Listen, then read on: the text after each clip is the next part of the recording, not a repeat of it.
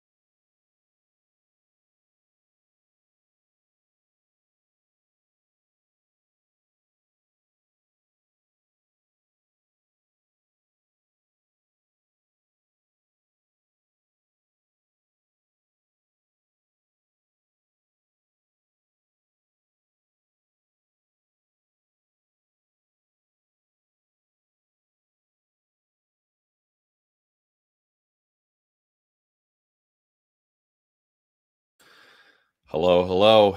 All right. So we're a couple minutes in already. How's everybody doing today? Happy Friday, everybody, on this Chainlink Hackathon day. Excited to be here. Excited. People are going to be learning about the audit process, which is incredibly important. So, uh, we're this is going to be a continuation of Andre's workshop yesterday. So, if you haven't seen Andre's workshop, he gives a fantastic overview of all the different things that one needs to think about before going to audit. And when it comes to security, right? He talks about reentrancy, Oracle manipulation attacks. He talks about all these different methodologies when it comes to being secure in our smart contract development. So this is going to be a continuation of that. I think it's um I think it's 2 hours on the schedule. We're definitely not going to last 2 hours, which is good. um but let's uh let's jump into this already. Oh, and I have nothing on my screen. One second, sorry. There we go. All right, so one of the first things I want to show you all the OpenZeppelin audit readiness guide. So you can even just Google it, OpenZeppelin Audit readiness. Find it here. And what this is, is it's a list of things to keep in mind. It's a checklist to keep in mind before you go to audit, right? and it's even lets you, us know like, hey, what even when even should we go to audit?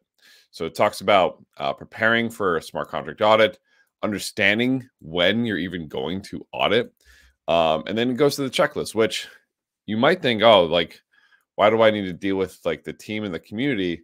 Well, these can be, you know, some of the most important channels before you go to audit, right?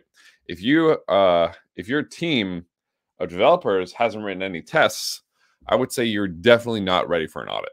100% not ready for an audit.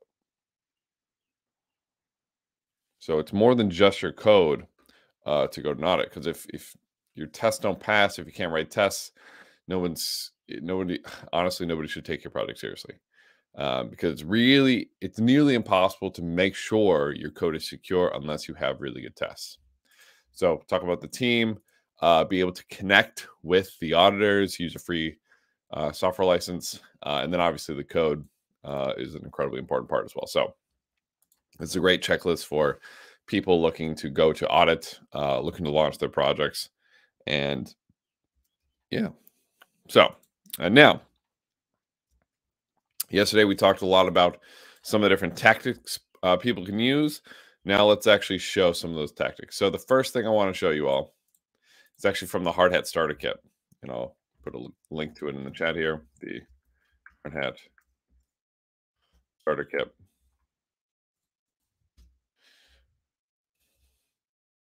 Hardhat Starter Kit is in the chat.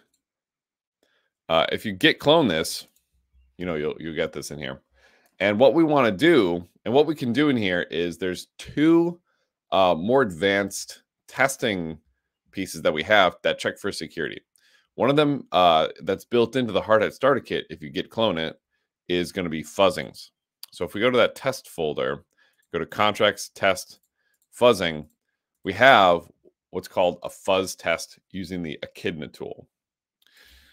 Let me um, Echidna. So Andre yesterday talked a lot about some of the different um, where's this on GitHub? Talked a lot about some of those different static analysis tests that we can run. This is an example of a symbolic test that we, we want to run. Uh, trail, uh, Crytic is run by Trail of Bits. Uh, this Trail of Bits team is absolutely phenomenal. They make a ton of security open source tools. They also do audits. Um, I pretty much love everything they touch. Um, and this is part of the uh, Trail of Bits security toolbox. Of its security toolbox, which I'm going to post in the chat as well,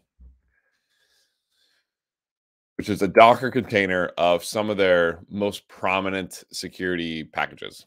Echidna for fuzz testing, Etheno, an integration tool, Manticore, symbolic analyzer, Slither static analysis, Rattle EVM lifter, and uh, this kind of example, not so smart contracts repository.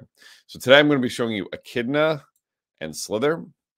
Uh, Echidna is this fuzz tester, um, and it's it's a great way to, to check for security. So uh, fuzz testing is the process of adding random data to your input to um, to try to find uh, to try to break it. So, for example, in our in our Hardhat Starter Kit, we have this keepers uh, encounters echidna test. And yes, this test is actually written in Solidity. And what it does is uh, we have this function called the echidna test perform upkeep gate, where we're saying, hey, no matter what input we give to our keepers contract, we should always start off, counter should always be zero. Counter should always be zero. And if we go to the README, we can actually see how to run this. Oops.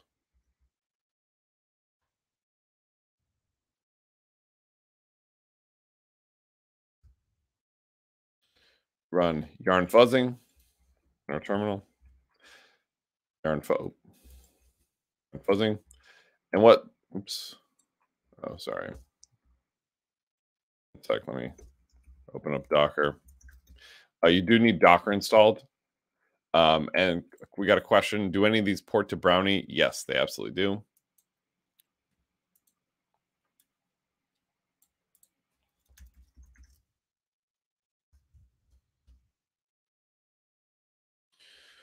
Start up Docker. I'll show you how this fuzz testing stuff works.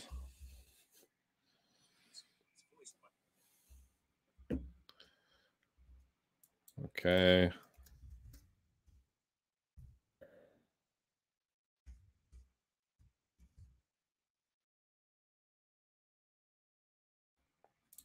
Let me switch back now. I have Docker running now. But what yarn fuzzing does, if we go to the package.json, is it runs this Docker command, spin up the trail uh, of bits at security toolbox. So we pull down their, their Docker image, and inside this trail of bits at security toolbox Docker image, we have all this, uh, all these tools that we can work with. So we just run yarn fuzzing. Ah, yarn fuzzing. And now we have all of these resources just already inside of our uh, our, our new uh, ETH security box shell, right? So we get dropped into a new shell here, which is great. And we can do solc select, use 0.8.7, choose the solidity. Oops. Uh, select help. solc select.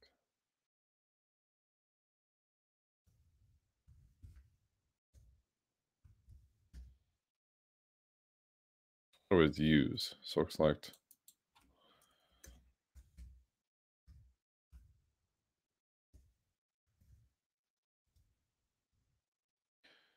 Which one is it?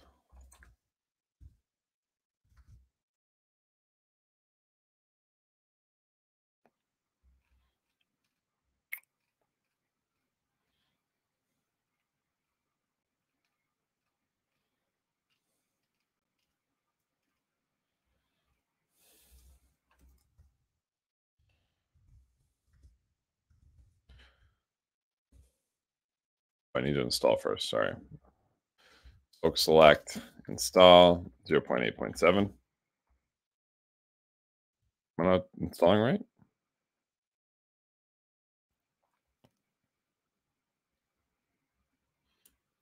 What am, what am I doing wrong? solc select use 0.8.7.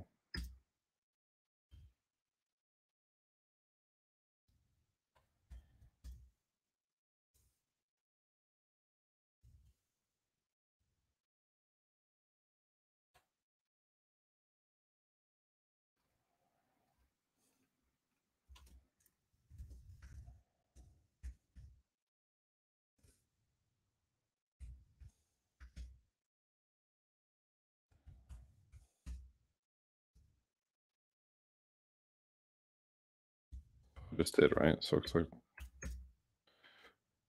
anyone see what I'm doing wrong? I'm uh I'm clearly typing something wrong with my solc select. Oh well.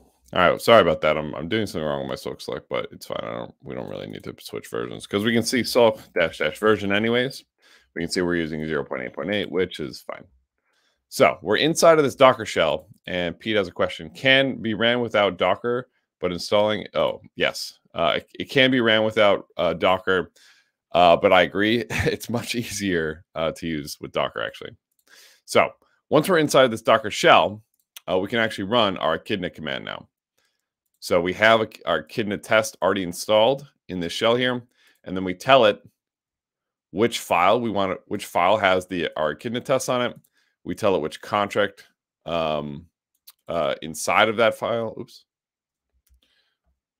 and then we give it the config, right? And our config in config.yaml just gives it a whole bunch of flags to check out. One of them is remappings.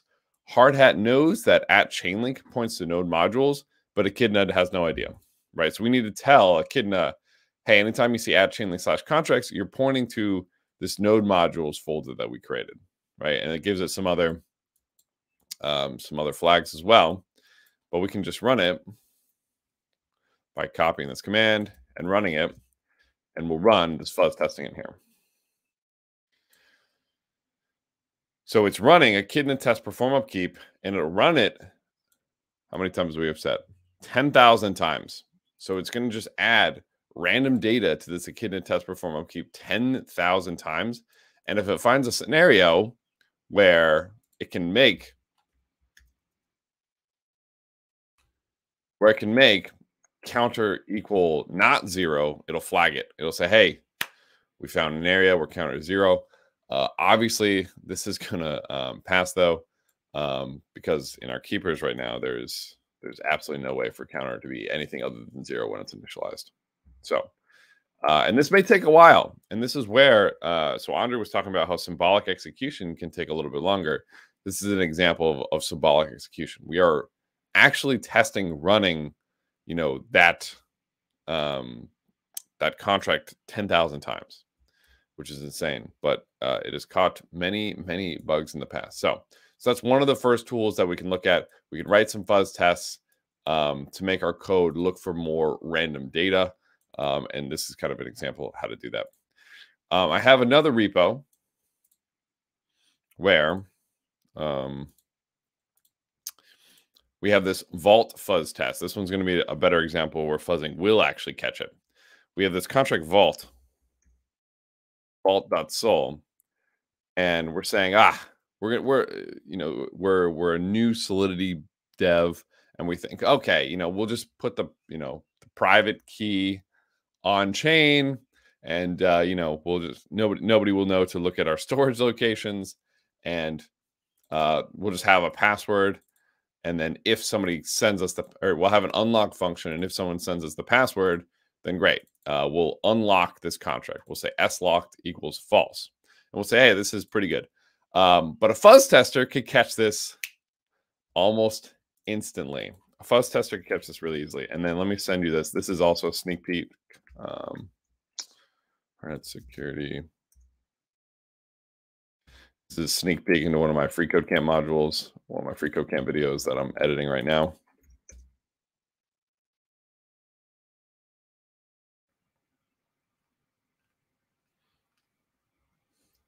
So here's a, a repo on, uh, on some on what I'm going to be showing you here. Oops. Um, but same thing. We have this uh, this vault fuzz test, and basically what it's going to be doing is it's going to be trying different passwords going to be trying different functions to make s locked equal true. And you can see how quickly it can actually find out our password is, you know, 123 ASD uh, 123. So in our constructor, we just create a new vault. Um, and then we go ahead, we run this test find password. So if we jump into our toolbox, same thing here. And then let's go to go run the echidna test in here see it'll almost instantly catch hey you have an insecure boom it already found it. Echidna test password failed. We found the password almost immediately. We found exactly the command to unlock this vault uh, and this is an example of okay well great it's fantastic we caught this because otherwise we you know might have thought our contract was secure. So fuzz testing can be fuzz testing can be incredibly incredibly powerful and use it as such. Okay, great. What's next? Okay, well, let's go back to the Hardhat starter kit. Let's exit our Docker shell.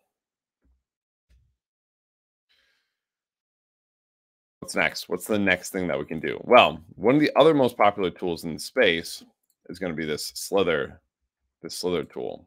So where's Slither? Slither. This also comes in the Trail of Bits toolbox. I have it installed locally, so I'm just going to go ahead and work with it locally. Um, but this is what's uh, called the static. Uh, is called static analysis.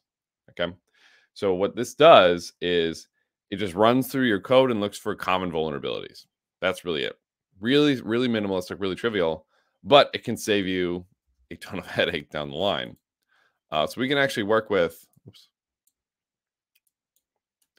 so let's say we're in our um, let's say we're in our, our Hardhat starter kit. We can actually work with the Slither tool. I've already, like I said, I have it installed already. So I'm going to do Slither dash dash version. Great, I have it installed. We can say Slither dot slash contracts. Uh, we're going to say, hey, just run on run on everything in our contracts folder. And we're going to give it uh, same thing. We're going to have to give it solc remaps. Maps, we're going to have to say anytime you see at open Zeppelin, that's going to be node modules slash at open Zeppelin.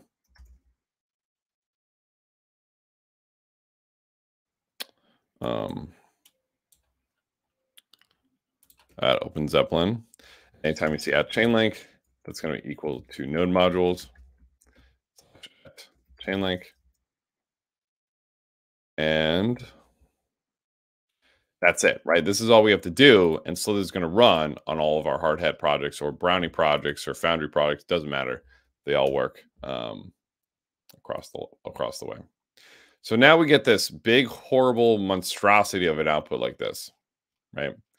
And we can go through it and it just gives us a, a good idea of what's going on in our contracts, right? So it even compiles first.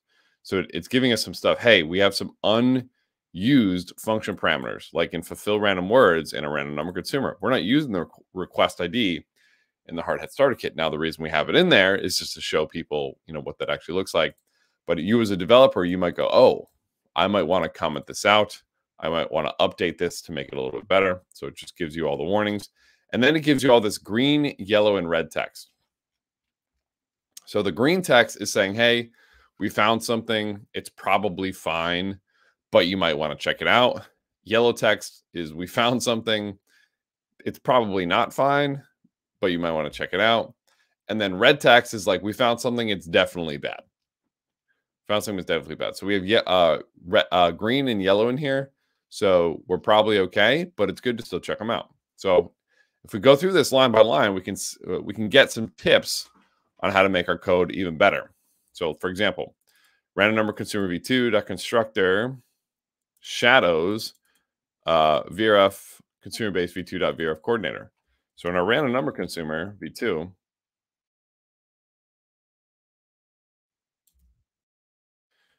we have this VRF coordinator variable um, that is also inside that is also inside VRF consumer base v2. So we have this VRF coordinator um, variable in two places, which isn't good, which can be really confusing for developers uh, working with this. So that's something that we probably would want to change and get rid of. We wouldn't want this to be VRF coordinator in these two places. Again, the reason we have it as the same is just to make it easier for people to understand what's going on. Okay.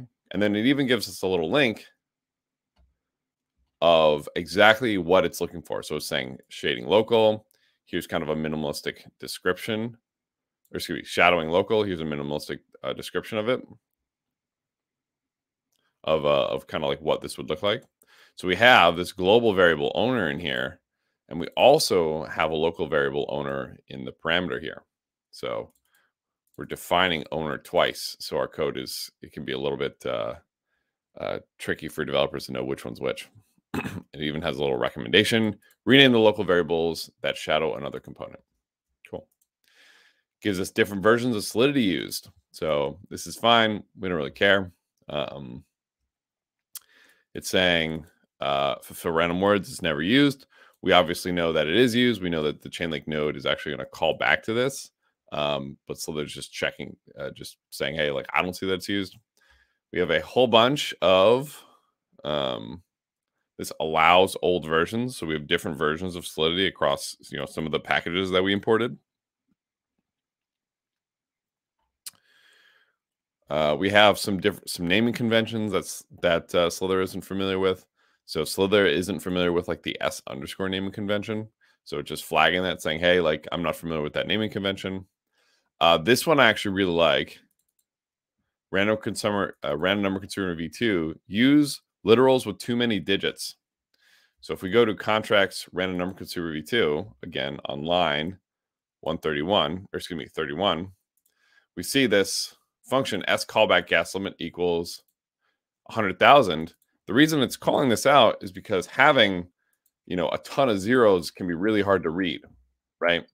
And so usually it might be better to do like one e. Oh wait, how many zeros did I have? One, two, three, four, five, one E5, because uh, this is a lot easier to read how many zeros it has. We're saying one and then five zeros.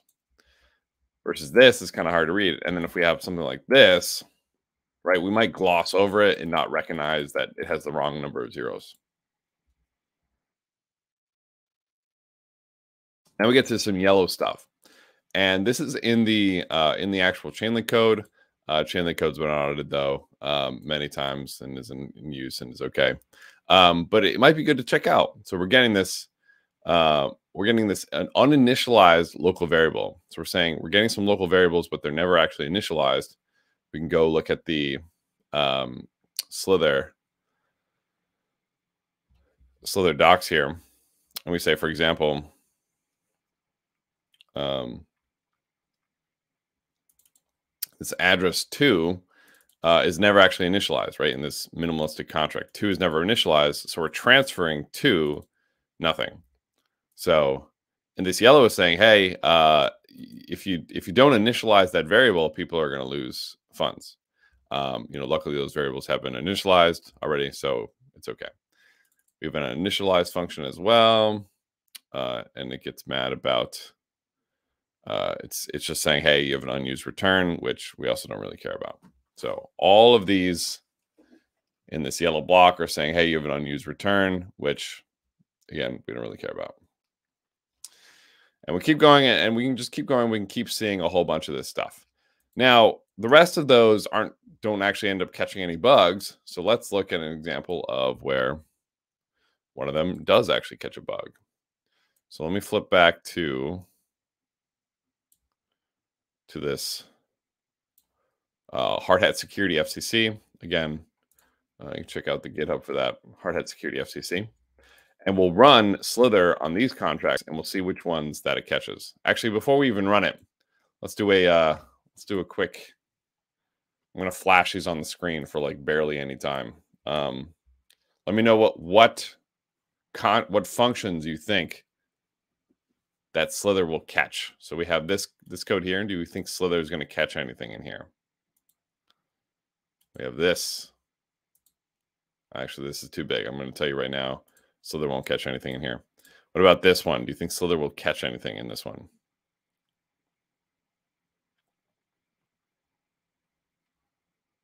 What do we think? Let me know in the comments. What do we think Slither will catch in this one? I'm going to keep going.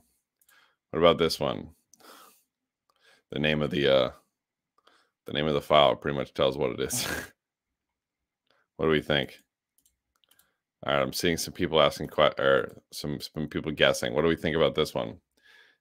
Will Slither catch everything? Will Slither catch everything in these? What do we think? And then while uh, uh, let me flip. Let me show this one back again. Um, there's some questions in here.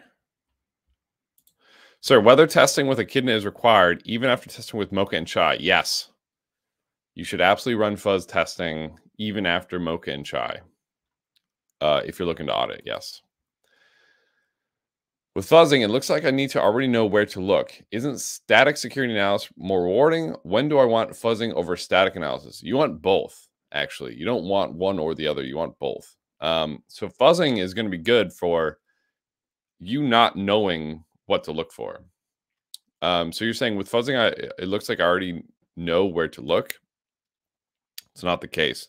Like maybe you have some function and you're like, I'm pretty sure that this is secure. I'm pretty sure nobody can screw this up, but let me run a fuzz test that'll run through, you know, thousands of different scenarios that I never thought of. Right. And maybe there's one scenario where um, it totally breaks your entire contract, but you just never thought of it. So fuzz testing is really, really important because it can catch those scenarios that you didn't think of. Won't Solhint catch these style aspects already? Oh, so for the style aspects, Solhint um, might. Yeah, but I mean, that's also just style stuff.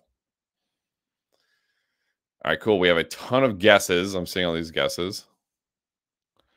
All right, cool. And then Victor, will Slither find only most common pitfalls? You are correct. So there Slither shouldn't be your like end all be all. It just finds common pitfalls. So let's go ahead and run Slither here. So we'll do Slither dot slash contracts. Actually, do I? I think I have it in the package.json up here. It's like yarn slither. Yep. So I'm just going to run yarn slither because it already runs all that's all those like remappings and stuff. In Slither, we'll see what we get here.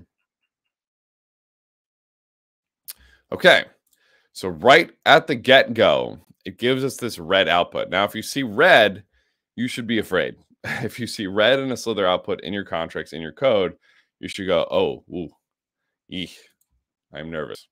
So we see in this metaphor, metamorphic contract.sol, go here, we see it is never initialized. So we have this metamorphic contract and it is initializable, which means after we deploy it, it needs to be initialized. Um, but we have this function kill, and it says, okay, whoever is the owner can self destruct this contract. If we don't auto initialize this contract, somebody else could call the initializer function, take ownership of this contract, and then kill it. This is actually something that has happened in the past where people have deployed their contracts, forgotten to initialize them, and then somebody else has taken ownership of it and destroyed it. So Slither would have saved you if you ran Slither uh, on this contract. So what else? It gives us a ton of greens. And then what's this? We've got another red here. Reentrancy and ether store dot withdraw. So if we go to reentrancy.sol, we've got a pretty classic reentrancy attack here in our withdraw function, right? We go ahead and we send ETH here, and then we update the state of the contract, which is not good, right? Because whoever we send ETH to, they could use the fallback function and destroy us. And Slither caught that. Classic reentrancy. Thank you, Slither, for keeping us safe, right? And obviously, the way to fix this would just be to go boop, boop, and you're good to go. Anything else? Okay, that's it. So Slither and our fuzz tests fixed Vault. Uh, fuzz testing caught Vault. Slither caught reentrancy. And Slither caught metamorphic. So what about these two? What about these two? Well, bad RNG didn't get caught by Slither, but this is where we'd move into maybe a more formal audit process, right? Or we could use one of those cloud tools like MythX or or try Mythril or try other tools. Um, but eventually, after you run through your suite of tools, the audit process, you move into manually, like literally combing through each line of your code, looking for uh, things that break, right? So in this pick winner function, somebody could, uh, and I've seen this actually happen. So please, anybody here, like, don't do this. Seen this happen way too many times. Um, where somebody goes, okay, I'm going to get a random number by like, you know, doing the block difficulty, message sender, all this other stuff, and I'm going to get a random number through that. People can not only influence this block that difficulty, but people can spam this pick winner function, uh, rejecting transactions that don't give it the right seed. Um, there's a ton of ways to exploit this so that the random number uh, is a random number that they want. So this pick winner is no good. Obviously, the fix to this is just using Chainlink VRF. And then what's the final one? Liquidity pools Oracle. Um, this is one that Andre talked about yesterday. And this by itself isn't really that terrible of a contract. Um, it's it's not great. Um, but the thing to be afraid of using is this get swap price. So we're using this liquidity pool, we're using this decentralized exchange as a way to get what the price of two assets are. Now, if somebody were to um, dump a ton of liquidity into here or do some crazy swaps, they could tank or or shoot the price up. If you're using this get swap price in your protocol, um, you're going to have a manipulated price. And this, uh, like Andre was saying yesterday, is one of the most common vulnerabilities in the smart contract space.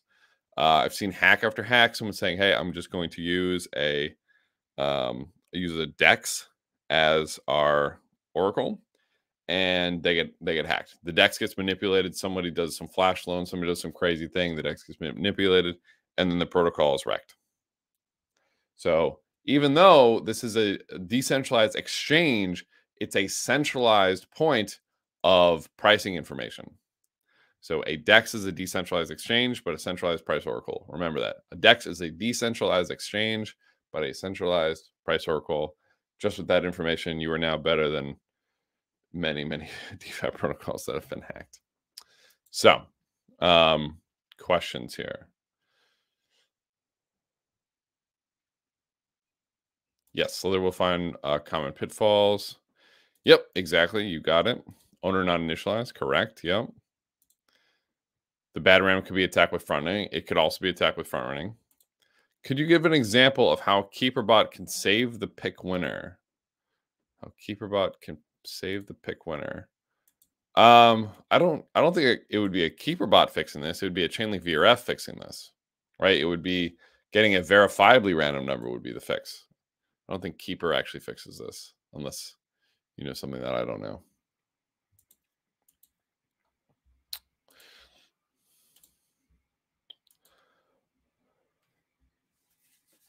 But with that, that's pretty much the majority of what I wanted to go over here. Um, which I know it said two hours on the uh, on the schedule. Apologies there. Uh, actually meant this to be a shorter one, and we put it was a longer one. Uh, yeah, I just want to show you this, some of the tools, some of the things to think about. Now, something I want to note too, especially for this hackathon, right? For this hackathon, um, people you might be like, oh, I want to make my contracts the most secure, the best, you know, which I love. I'm the same way, right? I want to make my contracts the best for building MVPs, like or or mock or excuse me, minimum viable projects or products. And for these hackathons, if they're not the most secure thing, we're, no, nobody's going to dock points. Okay. Um, usually making things super super secure that's going to be you know what you want to do before launching before you know doing an audit etc for the hackathon don't worry too much about that right that should be the last step uh, before moving forward you don't really like when you're building you don't want to get caught up in uh, trying to just make everything absolutely perfect because it'll just it'll slow you way down right? So just build build your mvp come back later and then update everything to be more secure uh, so that you can launch so that you can move forward. But uh, yeah for this hackathon don't worry about it too much um, but uh, it is just good to keep these in mind for later on right? This is almost more of a hey once you finish the hackathon and you're looking to launch um, these are the, some of the things that you need to keep in mind. So, um, and then on the topic of auditors, there's a lot of auditors in the space. Um, there's a lot of not so good auditors. Um, if an auditor comes back to you and, and they say that they can uh, audit your contract and get you a turnaround like in like a couple days, they're probably not a great auditor. I'm just being honest. Um, so just keep that in mind. Uh, I, I'm I'm really hoping somebody does like an audit, uh, like an auditor's tier list. Um, because right now it's really hard to like get reviews and stuff on auditors. But the cool thing is you can actually go through auditors, you know, public audits, see, you know, where your auditor has screwed up or, or been good and, and get a good idea of how good they are there. Could you please, Black Coat, uh, go back to metamorphic no initialized warrant to explain again the vulnerability and how to install it? I absolutely can do that. So metamorphic contract.sol. So we're using this initializable proxy. So we're saying metamorphic contract is initializable. And in this initializable code that we're importing, we have modifier initializer. Um, we've mod uh, what does this do?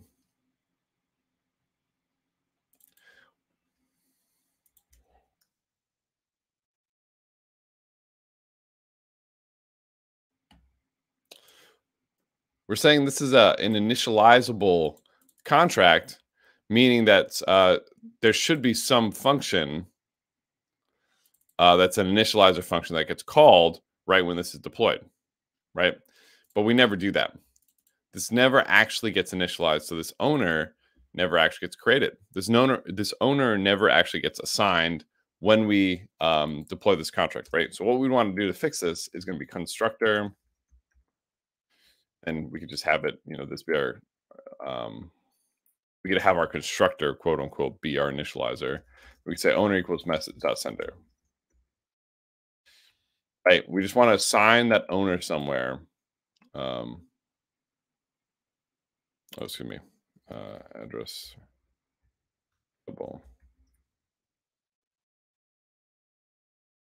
We just need to assign that owner somewhere. That's it. That's all we need to do. And this could be in an initializable function. Um, that's where this initializer comes in. I'm not going to go over that. But basically, we just need to set owner up somewhere. That's it.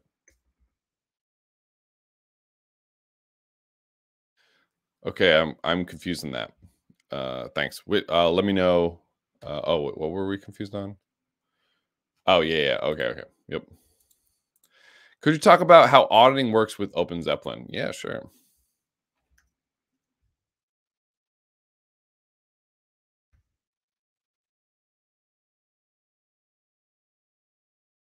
So you can check out their auditing system here. And this is literally their timeline. You contact them, they give you a quote, start the audit, give you a report, you fix stuff, and then they publish it. Uh, and here's some of their most popular audit reports, which are awesome. Um, but I mean, that's pretty much it. Uh, you can check them out here. Not affiliated with them or anything. Just OpenZeppelin is awesome. Um, if y'all start using OpenZeppelin audits, we should ask for kickbacks, huh? Just kidding. Um, JavaScript or Python for Web3. Uh, whatever you want. Honestly, whatever you want to do, whatever your heart desires, doesn't matter. I prefer Python, um, but that's me. However, at the same time, if I'm looking to build a full stack application, I know I have to use JavaScript. So, whatever your heart desires. How does one start their career as an auditor? Step one, you become a fantastic smart contract engineer. Uh, step two, you start becoming a more security focused smart contract engineer. And step three, you start doing audits or you apply for auditing companies.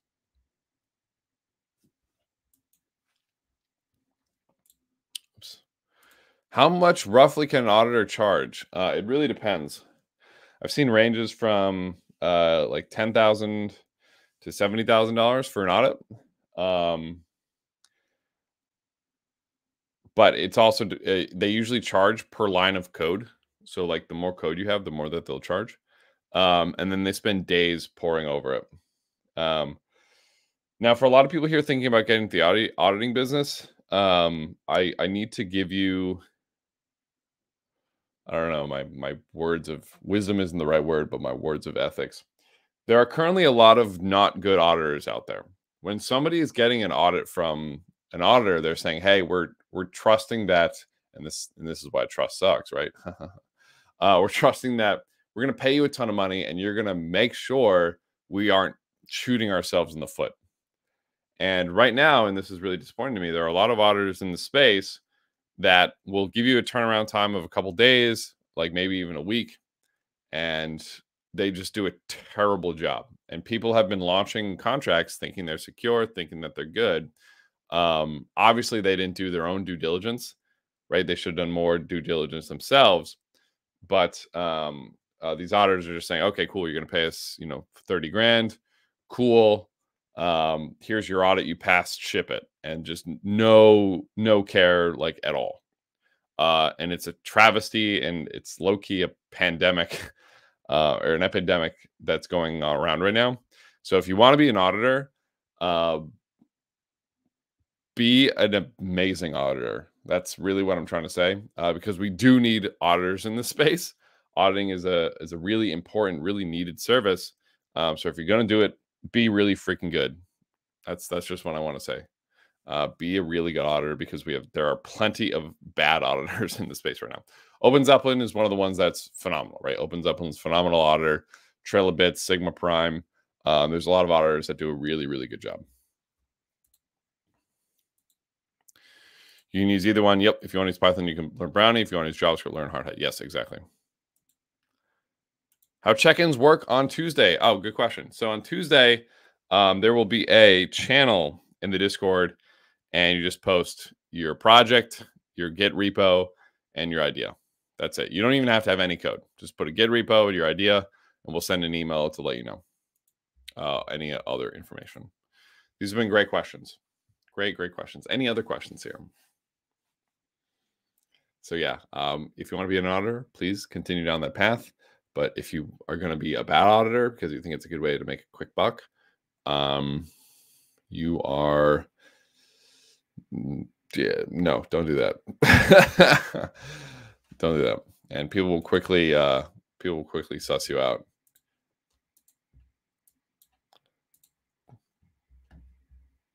So if you're going to be an auditor, be the best auditor.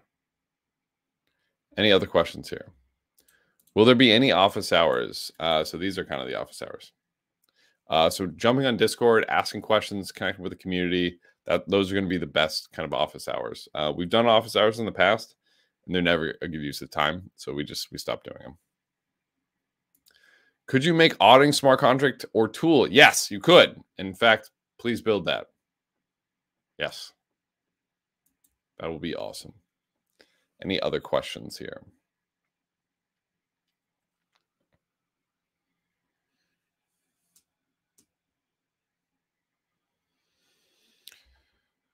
Which one is better to do?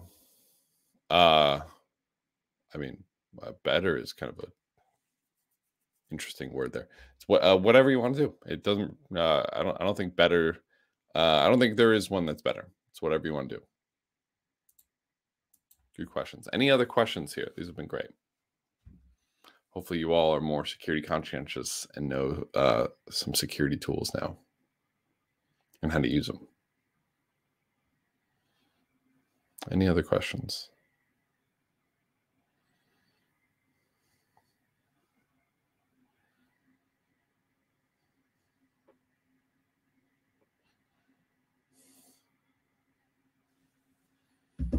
What do you think would increase adoption of Python? Um, good question. More big projects using Python. Um, more big projects using Python. I mean, more tooling around Python. Um, I just saw the other day that the the uh, there's some there's like a new Python script tag for the front end, which is really cool. I mean, if Python worked in the front end, that would also be that would also be game over um, in like a good way. Just because the reason JavaScript is so widely used is because it's you know one of the only languages that work. excuse me in the front end. So more use cases, more tools, that type of thing. More people using them. What would you say are the top five auto companies? Um, good question. I mean, those three I named were really good. Uh, I don't know if I, I don't really want to. Um, I also don't really want to like endorse any. Like, I guess I kind of already did. Um, I would say those three I gave Sigma Prime, OpenZeppelin, Trilobits are some of my favorite. I don't know. I I I would have to get back to you on like a real like okay, these are my you know stamp of Patrick stamp of approval. Uh, I would have to get back to you on that. I would have to do more research. Good question.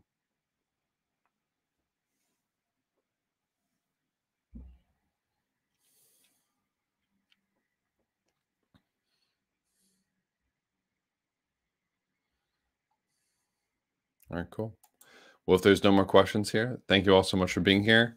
Um, this today. Oh, and before anybody leaves, before anybody leaves, please scan this QR code. Let us know what you thought about this session. Uh, if you liked it, if you hated it. And today is Friday. And if you go to uh, chain.link slash hackathon, you'll notice workshop starts slowing down after today. So we have one at 9:30. Why you should use BAS, uh, BCC, BSC application sidechain. We have two on Monday. We have some on Tuesday, and then after that, it's just building. So we only have a few more workshops left. Uh, this is today. This is actually the last kind of like Chainlink Labs run workshop. So it's the last workshop from the Chainlink Labs team. So we've given you all the information that you need to be successful. We've given you all these workshops. Um, hopefully, these all have been helpful, and hopefully, you all can take all the knowledge that you've learned in these and go make something absolutely amazing. So, uh, with that being said, thank you all for being here. Good luck at the hackathon, and we'll see you all soon.